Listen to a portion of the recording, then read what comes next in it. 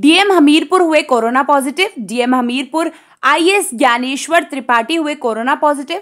कल दोपहर बाद से खराब हुई थी डीएम हमीरपुर की तबियत। डीएम हमीरपुर को डीएम आवास में किया गया क्वारंटीन।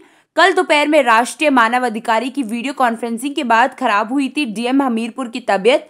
मानव अधिकारी आयोग की वीडियो कॉल में डीएम के साथ ज़िले के एडीएम और एसपी भी थे मौजूद। गौरव तल है कि डीएम हमीरपुर को लग चुकी है कोरोना वैक्सीन की दोनों डोज। डीएम के कोरोना संक्रमित होने के बाद डीएम बंगले के कर्मचारियों में मचा हड़कम।